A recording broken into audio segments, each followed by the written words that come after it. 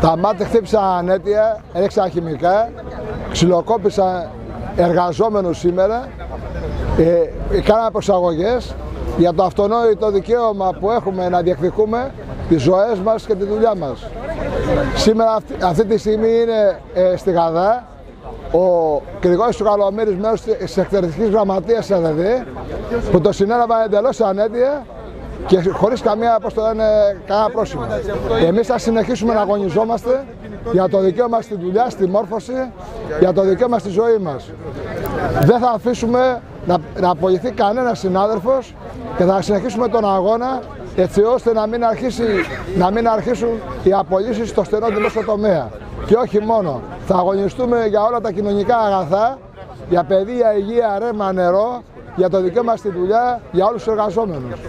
Καταγγέλλω η αστυνομία για την ανέτεια επίθεση, τους ξυλοδαρμούς, τις συλλήψεις, το έξιμο των δακρυγόνων είναι μια απαράδεκτη στάση της ηγεσίας της αστυνομίας και του Υπουργού Δημοσίας Τάξεως.